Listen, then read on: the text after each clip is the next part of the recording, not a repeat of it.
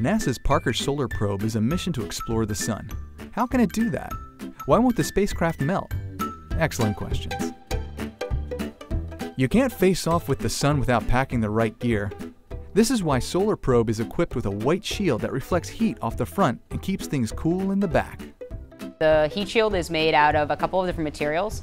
One is carbon-carbon, which is a lot like the graphite epoxy you might see in your golf clubs or your tennis racket, but it's just been superheated. The inside is a carbon foam, um, which is just another form of carbon and is actually about 97% air.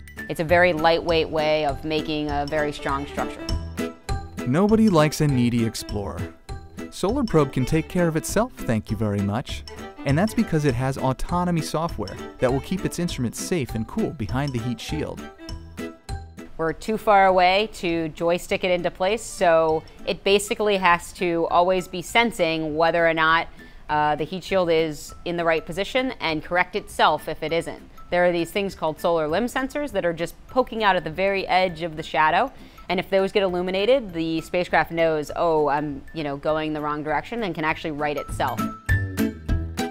It's important to stay hydrated in the sun, even for a spacecraft. Solar Probe circulates water to keep the solar cells from overheating.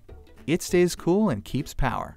So basically water flows behind the solar arrays and into the radiators. And so the water warms up when it's uh, behind the solar cells and then cools down up at the radiators. And so that heat transfer is happening a lot like the veins in your body. Yes, you read right. Heat is not the same as temperature. Temperature is a measurement, but heat is energy transfer.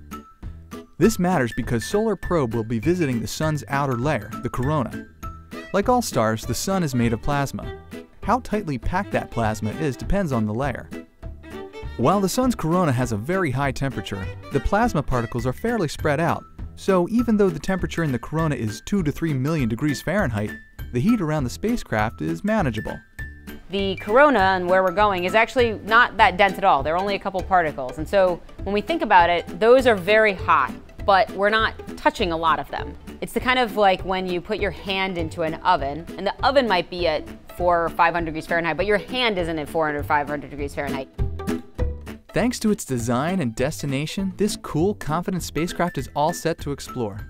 We can just sit back and chill as Parker's solar probe takes the heat.